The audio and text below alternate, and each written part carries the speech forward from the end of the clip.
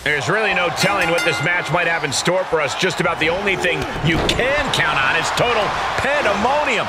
Yeah, chaos is the name of the game here. These superstars are going to be living out their most unhinged... Can he do it here? He forces a break before the count of two. He's not even close to being done yet. He's getting pushed out into the defensive.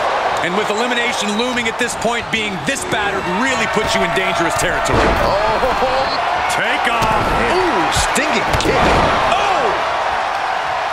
Oh, stomping away. As we all know, anything goes in an Extreme Rules match. How does one use that to their advantage, Corey? One. Oh, God, right in the eyes. Dropping the elbow. Knife edge chop. Top of that turnbuckle is not where you want to be. That might be the final nail in the coffin. And, that is, and you can Interesting decision there. Looking for something, anything under the ring. Look out! What?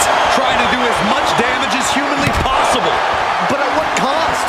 This is it. He kicks out at two. How? How? Wait, wait, wait, wait, wait, wait. Oh, no!